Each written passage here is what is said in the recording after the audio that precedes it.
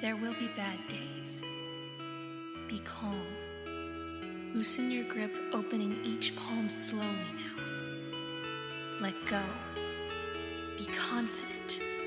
Know that now is only a moment and that if today is as bad as it gets, understand that by tomorrow, today will have ended. Be gracious. Accept each extended hand offered to pull you back from the summer you cannot escape.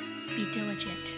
Scrape the gray sky clean. Realize every dark cloud is a smokescreen meant to blind us from the truth. And the truth is, whether we see them or not, the sun and moon are still there, and always there is light. Be forthright. Despite your instinct to say, it's all right, I'm okay, be honest. Say how you feel without fear or guilt, without remorse or complexity. Be lucid in your explanation, be sterling in your oppose.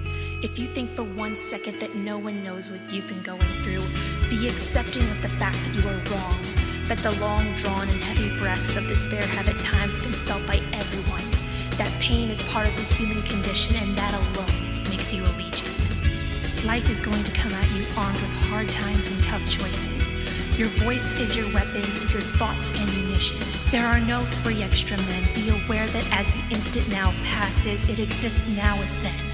So be a mirror reflecting yourself back and remembering the times when you thought all of this was too hard and you'd never make it through.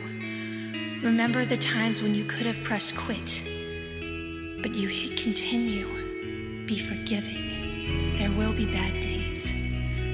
Times when the world weighs on you for so long it leaves you looking for an easy way out. There will be moments when the drought of joy seems unending.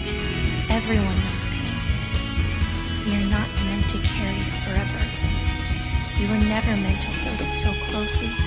So be certain in the belief that what pain belongs to now will belong soon to then. That when someone asks you, How was your day? Realize that for some of us, it's the only way we know how to say, Be calm. Loosen your grip, opening each palm slowly